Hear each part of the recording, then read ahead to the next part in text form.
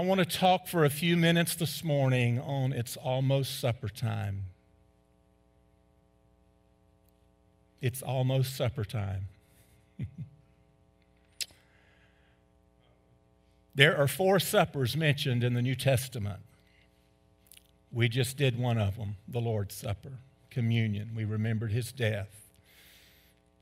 Revelation 19 talks about the marriage supper of the Lamb, which is not in the too distant future, I don't believe, the way things are going on this earth. It doesn't take someone with a whole lot of biblical sense to realize we're living in a different day.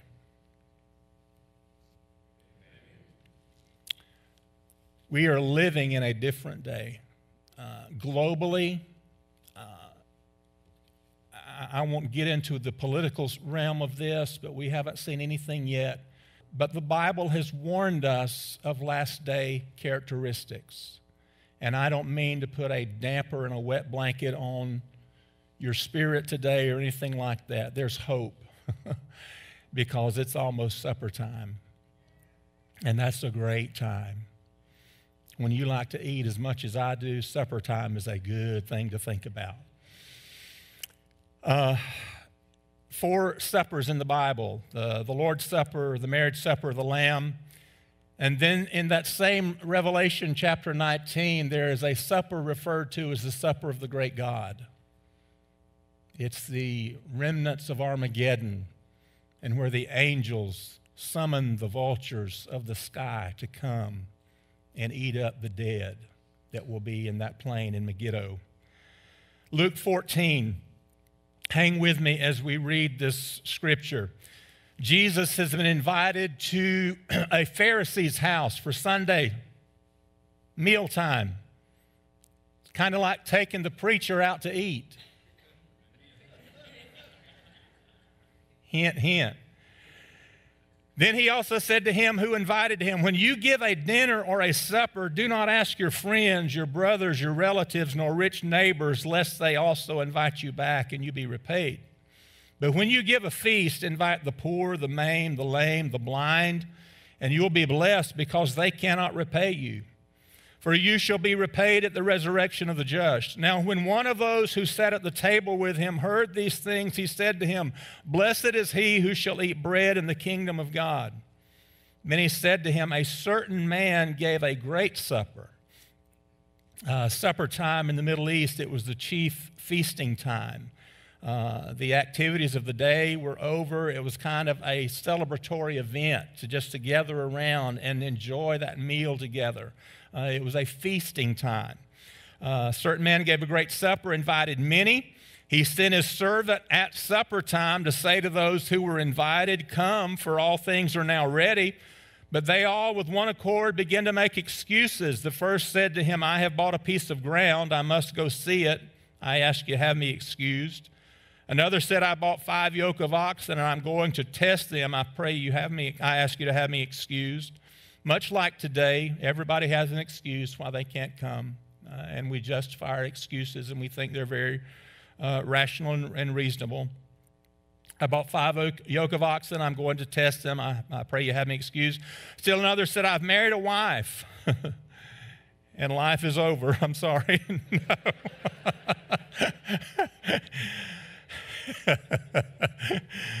I married a wife, and therefore I cannot come. No question. She wears the pants in the house. So that servant came, reported these things to his master. Then the master of the house, being angry. Have you ever cooked and they not showed up? Ooh, nothing irritates a cook more than that. I Cameron stays at the Shore's house now more than he does at our house. Keith, you might can claim him on your taxes next year. I don't know how that works, but I, I, he'd been over there all day the other day since early morning, and I thought, well, he'll be home for supper. So I get in there and I cook a feast. And I text him. I said, I got supper ready, baby. I'm eating at the Shores. Ooh. You could have poured hot grits on me and it wouldn't have made me any madder. you still live under our roof. Being angry, he said to his servant, Go out quickly into the streets and lanes of the city, bring here in the poor, the maimed, the lame, the blind. The servant said, Master, it's done as you commanded, and still there's room. We've done that. There's still plenty of room. The master said to the servant, Go out into the highways and hedges, compel them to come in, that my house may be filled. For I say to you that none of those men who were invited shall taste of my supper. Obviously, Jesus was speaking a parable at the time to the nation of Israel. God, in His mercy and grace, had hand selected and chosen and picked them and given them, if you want to call it, a great banqueting spread, and they rejected it and refused the Messiah and are still looking to this day for their Messiah. And so they refused the invitation that the Master had sent out Come, it's ready. The, the Messiah is here. The banquet is ready. Everything that you need, He's providing for you. And they refused it. So Jesus was speaking that particular parable to that group of people that day, still very applicable to us today. Now look at Revelation chapter 19 and verse 6. John, the I don't understand everything about Revelation. I know at some point the church is raptured off of this earth and taken to heaven to be with Jesus. And then there's a marriage supper of the Lamb that takes place during that seven year time frame. Um, I don't understand about all that I know about that. I don't exactly know when the rapture will take place. I know we have preached it in all of our life and believed it, and I still adhere to it and want to hold on to that that the rapture is before the tribulation. I know there are a lot of God fearing people. Uh, David Wilkerson didn't believe that. He believed that the church would go through part of the tribulation. Leonard Ravenhill, the great revivalist back, said the church will go through probably the first part of the tribulation. I don't know. I, I don't have the knowledge nor the capacity to understand that. I don't believe we really are to know that, to be honest with you. I know what the Word says, and I know what we've always preached and what we interpret, what we believe to be uh, our getting out of here point. But uh, tribulation winds are certainly already blowing on this earth. Would you not attest to that and agree to that? Uh, and I know the Lord takes care of his own through whatever they go through. Uh, I've said, you know, Noah was not spared from the flood, but God kept him through the flood uh, say, well, you know, God has not appointed his children to wrath. No, he certainly has not. And he keeps his own. Uh, Jesus Christ is our security, he's our hiding place, he's our refuge. Um, and don't, don't you leave this church and say, well, Brother Jerry thinks we're going through the tribulation. I don't know when we get out of here. I know we better be ready to go. It could be at any moment. But when we do get out of here, it's going to be supper time. And there's going to be a marriage supper in heaven. And I don't know how God's going to do that. I don't know if it'll be a literal banquet table that all the redeemed of all the ages will gather around. There's going to have to be a huge banquet room in heaven if there is. And I don't know how he'll do all that, but it'll be a celebratory time unlike anything we have ever seen or experienced on this earth. I told you about that time. I used to get so aggravated with Brother Tommy telling the same stories over and over. Be careful how you talk about somebody because you may do it one day. I told you about that time that we took a trip to New York, a missions trip. And uh, about two weeks before we were to go, Bobby Seddon was down at McDonald's with Austin and Eli. They were smaller at the time, obviously. And as Sister Bobby's nature was, she was always engaging someone in conversation and talking about the Lord. And she's engaged in conversation with this lady there at McDonald's in Bonifay.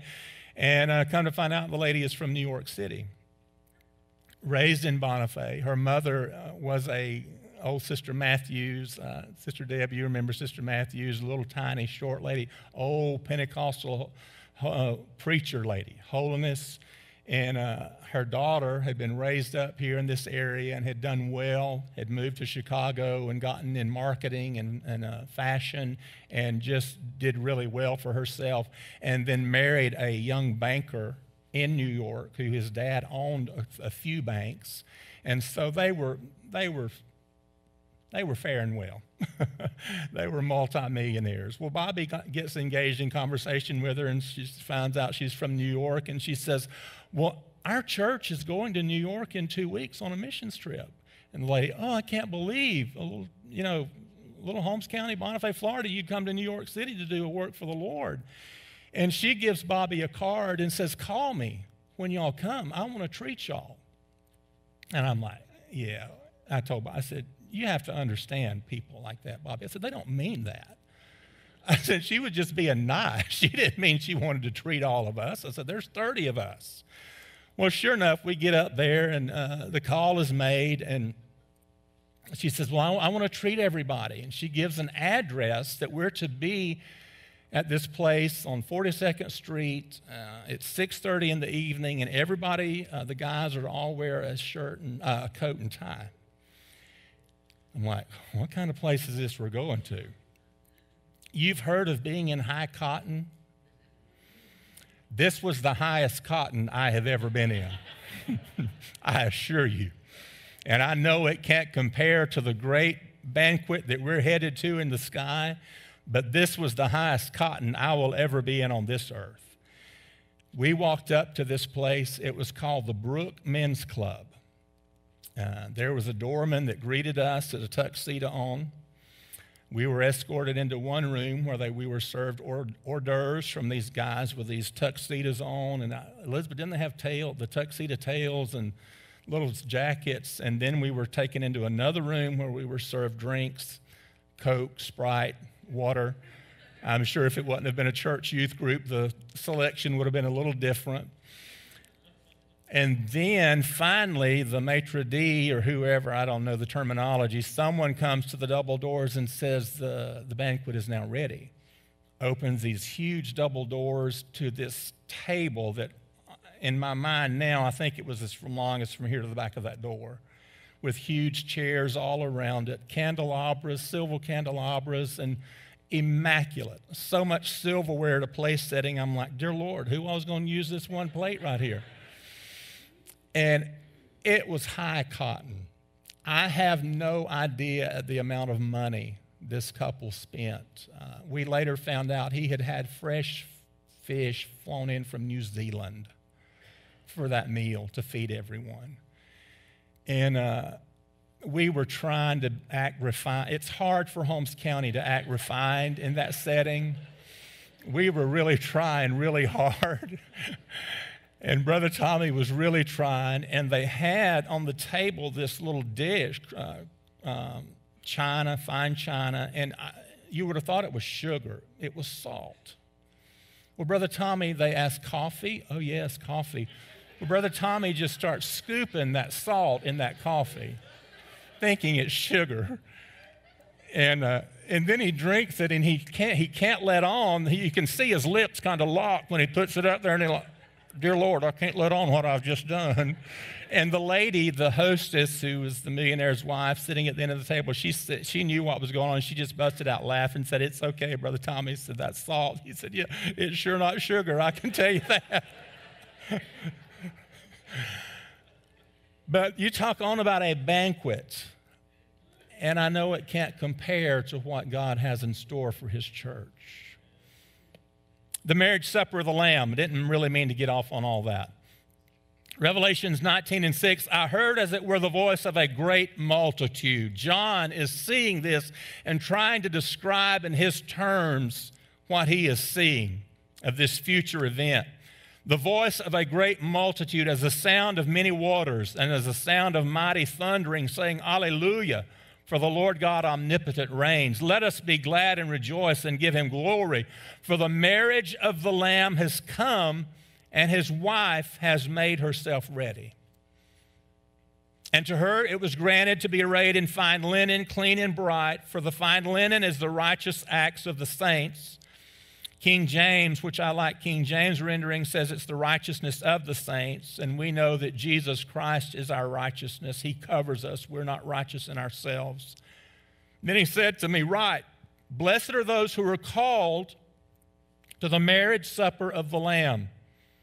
And he said to me, These are the true sayings of God. And I fell at his feet to worship him, but he said to me, See that you do not do that. John is just so caught up in this moment, he's going to fall down and worship this angel who is giving this revelation to him. And the angel says, Oh, wait just a minute, don't do that. I'm just a servant just like you are. I'm your fellow servant and your brethren who have the testimony of Jesus. Worship God. For the, spirit of, for the testimony of Jesus is the spirit of prophecy. Now I saw heaven open, and behold, a white horse. And he who sat on him was called faithful and true, and in righteousness he judges and makes war. This is Jesus, obviously, on the white horse. And this event is taking place while the tribulation is winding up on this earth, seven years of the most horrible time on this earth that has ever been. So, obviously, the bride of Christ, the church of the Lord Jesus Christ, has been united with him, and the rapture has taken place at some point prior, seven, somewhere in this seven year time frame prior to this event happening. So, we're in heaven with the Lord. And then heaven has to have a lot of stables because there's a pile of horses if we're all going to be on a horse. Am I right, Brother Randall?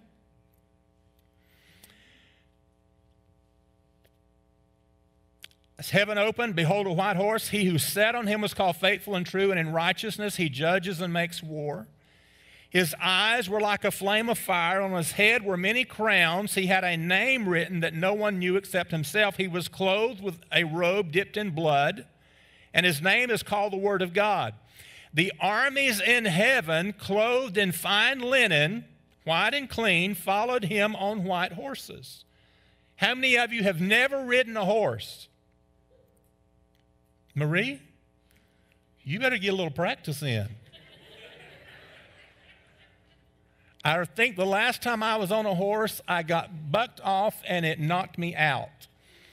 Uh, my sister and I, back in the day, had gone down to an old trash dump area and we were making a fort in the woods. And we were going to this dump and digging out old cans and stuff. And we tied them to the horse. And my sister said, You get on the horse. I was much younger and thought, Okay, I'll ride the horse not realizing that that clanging and banging would spook the horse. And he, he, the more we went, the more it clanged and banged, and he started bucking and rearing, and I, I went flying one way, and it knocked me out. And I remember coming to, I was twirling my fingers, saying, "Where am I? Where am I?" And I haven't gotten back on a horse then, but I don't think we'll be afraid of these horses. Armies of heaven, clothed in fine linen, cleaning white, follow him on white horses. Now out of his mouth goes a sharp sword, that with it he should strike the nations, and he himself will rule them with a rod of iron. He himself treads the winepress of the fierceness and wrath of Almighty God, and he has and he has on his robe and on his thigh a name written King of Kings and Lord of Lords. And I saw an angel standing in the sun, and he cried with a loud voice, saying to all the birds that fly in the midst of heaven, Come and gather together. Here's that other supper or the supper of the great God. That you may eat the flesh of kings, the flesh of captains, the flesh of mighty men, the flesh of horses, and those who sit on them, and the flesh of all people, free and slave, both small and great. And I saw the beasts, the kings of the earth, and their armies gathered together to make war against him who sat on the horse and against his army.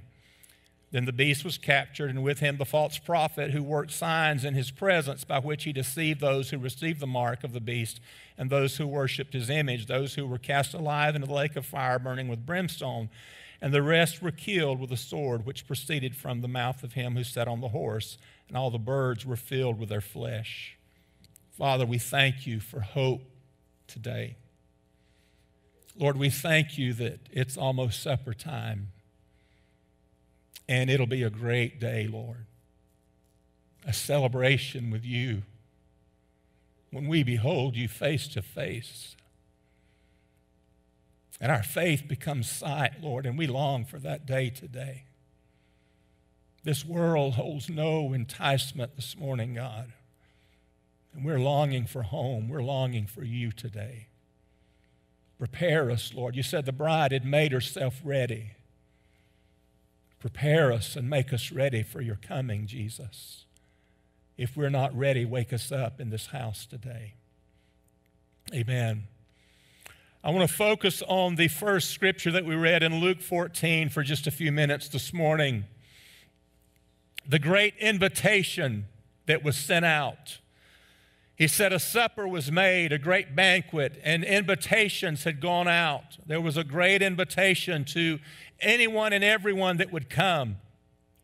And can I say this morning that the Lord has invited every one of us to his banquet table?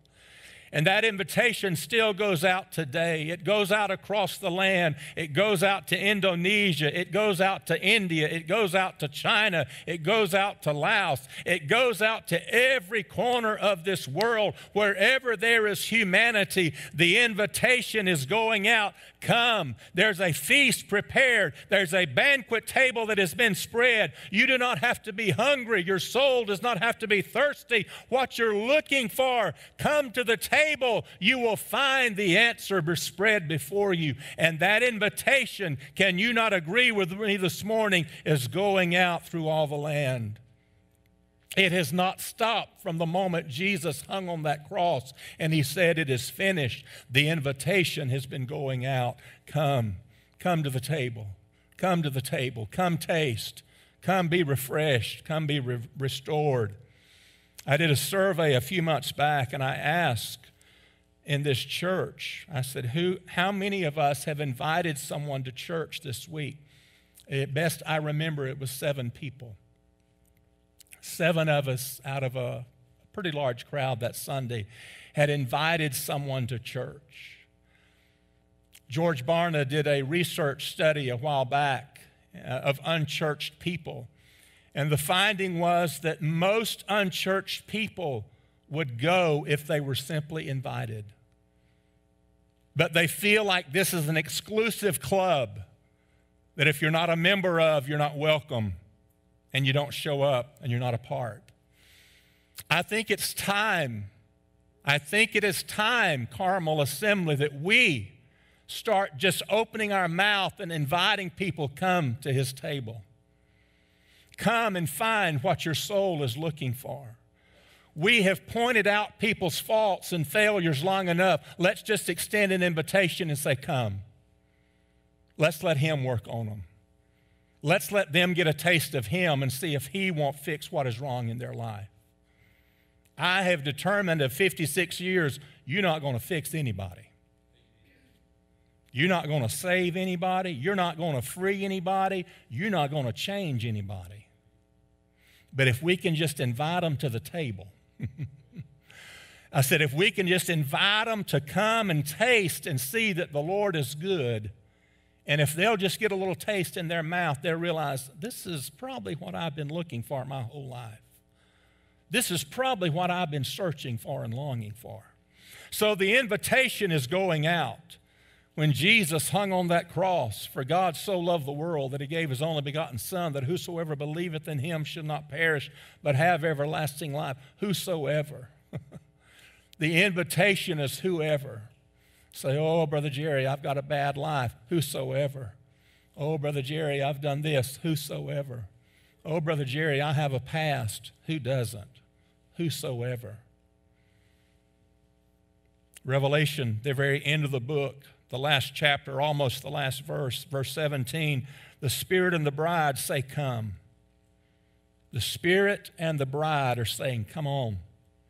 Let him who heareth say, Come. That's you and I. We've heard the Spirit. Now we're supposed to respond and tell others, Come on. Come taste. Come. The table's being spread. There's a place setting for you. Oh, no, Brother Jerry, I could never fit at that table. My life has been so black. My life has been so bad. My life has been so dark. No, there's a table setting just for you. There's a table setting with your name engraved on it. Let him who is athirst come, and whosoever will, let him take the water of life freely. The invitation. Now there is the guest list. Jesus said, when you give a feast, invite the poor, invite the maimed, the lame, the blind. How many of you were spiritually poor one time in your life? How many of you were poor and crippled one time and you couldn't even get to the cross? But he reached down and found where you are, where you were. His long arm of mercy reached down. See, we are all benefiting from the invitation that has gone out. And sometimes we forget where we came from. Amazing grace, how sweet the sound that saved a wretch like me. I once was blind, but now I'm found. I was blind, but now I see. I was lost, but now I'm found. Was blind, but now I see. When you give a feast, invite the dignitaries, invite the bankers, invite the doctors. Dr. Hawkins, you're invited. Invite the attorneys. Where's Tyler? No, he went a little farther on down on the list and he said, invite the poor, the crippled, the blind. In other words, seek out those that can't even really get to the feast on their own. Seek out those that don't even see their way to get there and make sure they have a special invitation. See this great God, this great master who's preparing this feast and this great supper. He doesn't overlook anyone. You and I are bad to overlook people and we write people off. Say, oh, they're beyond the mercy of God. They're beyond the grace of God. Let me assure you this morning there's no one beyond mercy, there's no one beyond grace. And there's a table setting for everyone because the invitation is going out to everyone. I thought of this uh, verse of scripture in Isaiah 58 where God is talking about the kind of fast that He requires. Is not this the fast that I have chosen to loose the bonds of wickedness, to undo the heavy burdens, to let the oppressed go free, that you break every yoke? Is it not to share your bread with the hungry? that you bring to your house the poor who are cast out. When you see the naked, that you cover him and not hide yourself from your own flesh. Then your light will break forth like the morning, your healing shall spring forth speedily, and your righteousness shall go before you. The glory of the Lord shall be your rear guard, and you shall call, and the Lord will answer. You shall cry, he will say, Here am I. If you take away the yoke from your midst, the pointing of the finger, the pointing of the finger. I have a good finger pointer. Well, that's the problem right there. It's that bunch in Washington's the problem. It's the abortionists that's the problem. It's the homosexuals that's the problem. I'd never really noticed it, that, that that said that. He said, quit pointing the finger. Accept the responsibility and do what you're supposed to do if you want God to work for you. If you want your darkness to break forth and light shine on you, just do what you're supposed to do and quit pointing the finger at everything else. Because every time we point one, there's three pointing back at us. If you extend your soul to the hungry and satisfy the afflicted soul, then your light shall dawn in the darkness, and your darkness shall be as the noonday. The Lord will guide you continually and satisfy your soul in drought and strengthen your bones. You shall be like a watered garden and like a spring of water whose waters do not fail. There was the invitation, went out to everybody. There was the guest list who he specified who to really target. Oh, Brother Jerry, we can't get the poor and the afflicted and the blind. They can't pay the bills. Allison, you're an exception. No, that's who Jesus said to go after. He said, make sure they're at the top of your list. Why, Lord? Their number three is the recompense. He said, You'll be blessed because they can't repay you. You'll be blessed because they can't repay you. Well, when I do something for somebody, I want them to do something in return for me. He said, No, it doesn't work that way. What could we give back to the Lord in return for His grace, His mercy, His love, His peace, His salvation? What could you and I, as mere mortal human beings, possibly return to the Lord for the riches He has shown us? He said, These people that you need to invite, that's the reason you invite them because they can't do something in return for you. They can't pay you back. I preached a message some months ago on this very thought. Psalms 116 What shall I render to the Lord for his benefits toward me? I'll take the cup of salvation and I'll call upon the Lord. The psalmist said, How can I repay God for everything he has done for me? And he looks around and says, There's not one thing I can do except just take the cup that he's given me and I'll drink it to the full. And I'll call on his name. I said, You know how you show a cook you appreciate their meal? You eat the food. You know how you show the Lord you appreciate his salvation? You take it and you drink that cup. And you come back for more and you lift that cup up and say, God, I want another dose of that. I want another drink of that, Lord. That was so good. You keep coming back for more.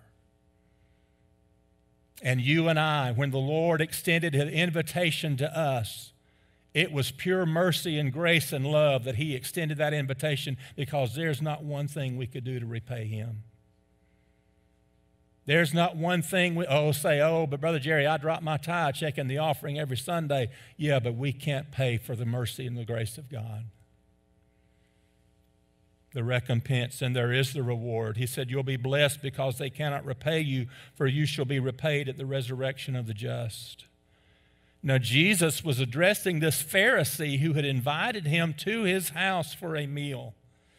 And then he goes into this dissertation about if you're going to give a banquet, don't invite your friends or the well to do or those that can repay you. Invite the poor, the blind, the maimed, because they can't recompense you. He said, You're going to receive your reward at the resurrection. So, what does that tell us as a church? you know what our focus needs to be? Our focus needs to be on getting people to the table. And then when we sit at that great banquet table, He's going to reward us. I, I, I, think just being able to sit at the table is going to be reward enough, just to be very honest with you. But there will be rewards for those who have gone out and sought people to get them to come to the table. We go through life so busy with life, we forget what our mission in life is. I said, we go through life so busy with life, we forget what our mission in life is. Our mission is not to make money and build houses and drive nice cars. That's wonderful. I like nice things and I want more of them. But my mission in, in life is to represent Jesus Christ to a lost, hurting, dying world and we get so busy living life, we forget our mission in life. You know why God has placed you on that job where you are?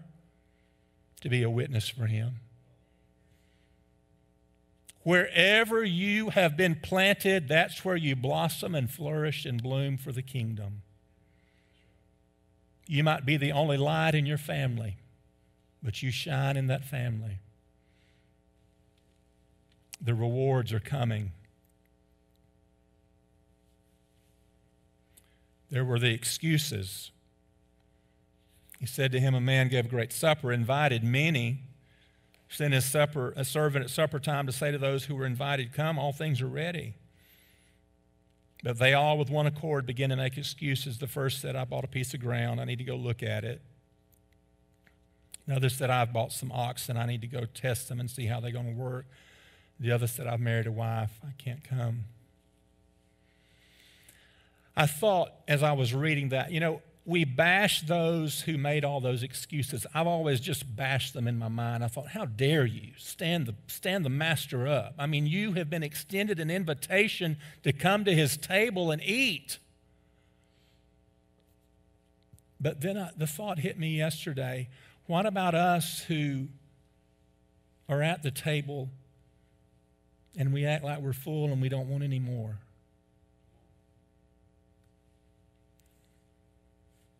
What about us who have been sitting at the table for some time? And we just treat it like, uh, I wouldn't care for any more. I, I, I've really had enough. I appreciate it, Lord. I, well, no, try this dish. Uh, well, no, I wouldn't care for any more. I'm just a fool. Thank you, though. I appreciate it. Well, no, just try this over. No, I'm really, I've really had more than I.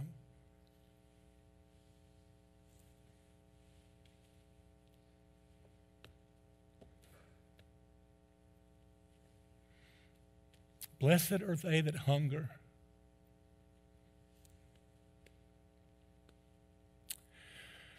There is such a danger to losing your hunger for the presence of the Lord. There is such a danger for just going through the ritual of religion and just getting your nose counted and your card punched, dropping the check and the offering. I've paid my dues, I've done my thing. I've always criticized those that didn't show up, but then it hit me yesterday. There's so many. We've been sitting around the table for so long. We think that it's about us. We think that everything has to be catered just to us. I thought of the story of the prodigal son.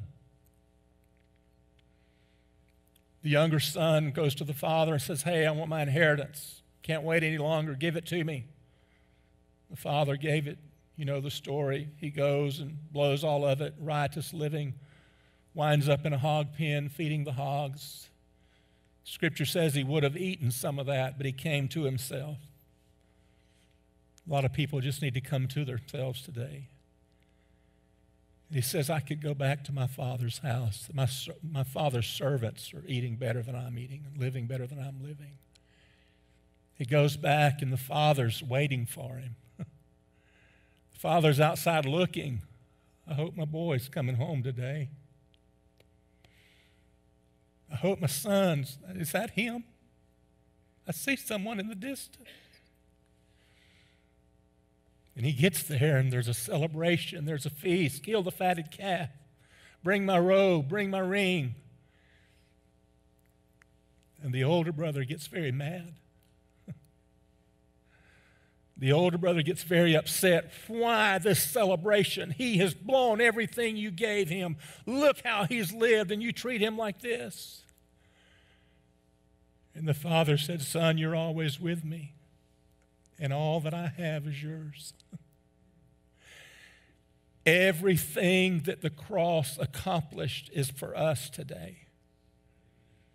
Everything that Jesus accomplished on that cross is ours, and He says it's on the table. Would you come and get it?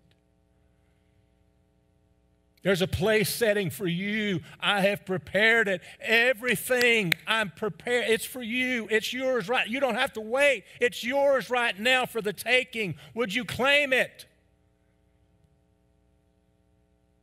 Well, no, Lord, I, have had a plenty.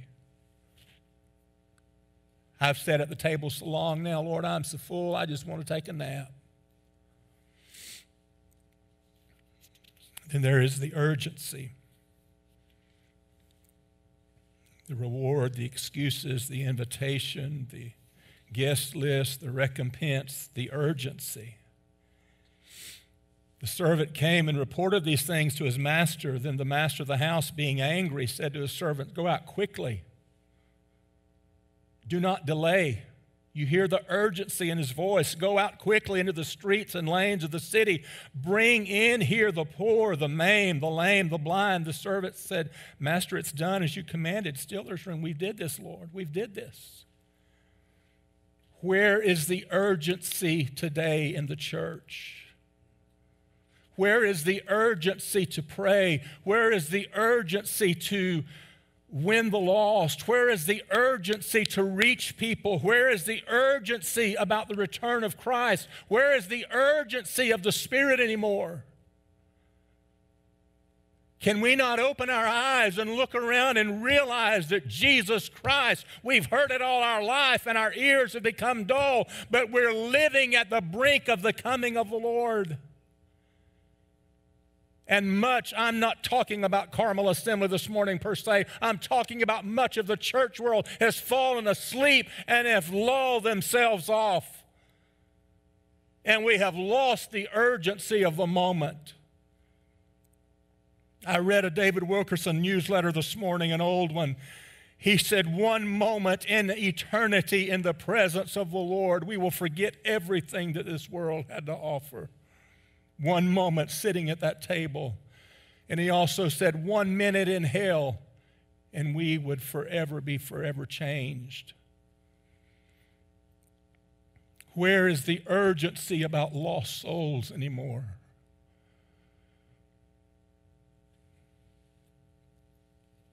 The Bible is explicitly clear about the characteristics of the last days. Paul told Timothy, perilous times, men love them on their own selves, covetous, boasters, proud, blasphemers, disobedient, unthankful, unholy, without natural affection. Truth, you know the story. Despisers of those that are good. He goes on to say they'll have a form of godliness, but they'll deny the power thereof. And if we're not living there, I don't know when we will be living there. The world has a form of godliness today. I read last week the Lutheran Church ordained its first transgender bishop. I read the other day about the, wasn't it, was it the Baptist or Methodist? Thank God it wasn't assembly yet. The Methodists had ordained their first transgender, and she goes by the name of Penny Cost, Sister Penny Cost. And people were praising that we had arrived at that day. I read this story about this Lutheran bishop, Lutheran pastor in California, become the first transgen- transgender bishop in a major American Christian denomination. On Saturday, the Reverend Megan Rohrer, pastor at First San, uh, San Francisco's Grace Evangelical Lutheran Church, elected bishop for the Sierra Pacific uh, Evangelical Lutheran Church in America, based in Sacramento, California. The assembly encompasses 36,000 members. The Reverend Elizabeth Eaton, who was the presiding bishop, praised the conference for recognizing Sister Rohrer's talents and said, We, uh, we welcome her, we, uh, we welcome her talents and abilities uh, all are welcome. Eaton said in a statement, We believe that the Spirit has given us gifts in order to build up the body of Christ. We have a form of godliness in this day. And if it'll wear a cross around its neck and total a Bible, must be God.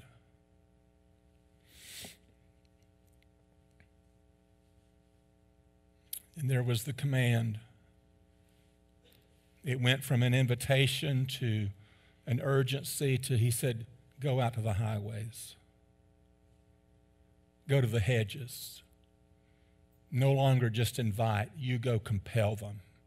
Do whatever you have to do to get them to the table. Do whatever you have to do to get them in the house.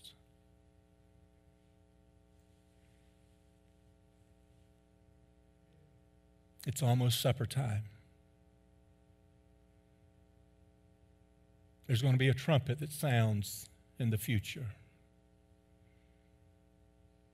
And the church of the Lord Jesus Christ, she may look battered, she may look tattered, she may look torn, but she will rise in victory. And she will be called to the banquet table. and our faith will become sight when we behold him on that moment. And there'll be an angel that'll escort us to our place setting. and we will be in the presence of the Lord, and all heartache and sorrow and pain and agony. It's almost supper time. You may be in this house this morning and you may have lost your joy because of all that's going on. You may have lost your purpose.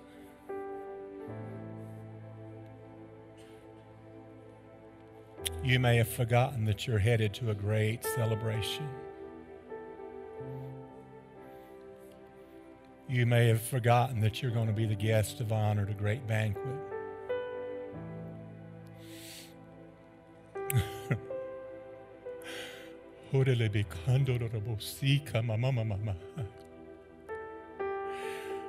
I just want the Holy Spirit to remind us this morning where we're headed.